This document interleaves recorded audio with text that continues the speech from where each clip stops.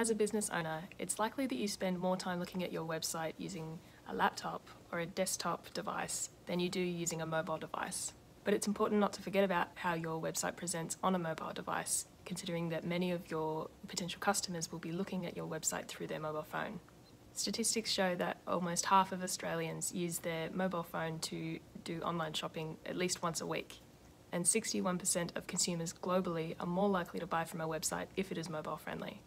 There are a few different things that you can do to ensure that your website is mobile friendly, and the first is to ensure that the design is mobile responsive. Responsive website design basically means that the website content will adjust and rearrange itself according to the size of the screen that it's being viewed on. Pretty much all websites are designed like this these days. Um, if your website was designed uh, quite a few years ago, it is possibly not mobile responsive, um, but it's pretty easy to check this. You just need to jump onto your phone and open up your web browser and look for your website to see if the content is displayed in a format that's easy to use and easy to navigate. The best way to make adjustments to the responsiveness and the layout of your website content is to learn to use your content management system. Content management systems like Elementor or WordPress make responsive design really simple. If this is a bit beyond your capabilities, then have a chat to your web developer to see how you can work together to make sure that your design is responsive for any screen type.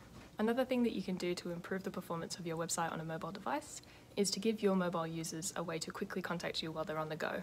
You can make your phone number and your email address clickable with the use of a simple hy- hyperlink or some basic HTML code. There are step by step instructions on our blog post on how to do this. The final thing that you need to do to ensure that your website is performing well on mobile devices is to make sure that it's running quickly. So, if your website takes longer than three seconds to load, you're likely to lose about half of your potential audience. You can test the load time of your website pretty easily.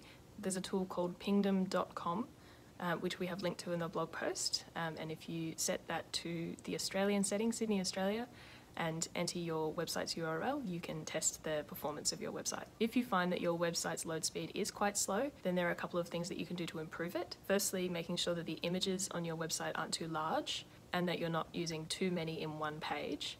You can also make sure that there's not too much unnecessary script slowing your pages down and that your website uses caching. The script and the caching are both the responsibility of your web developer, but ensuring that your image files are a reasonable size is your responsibility.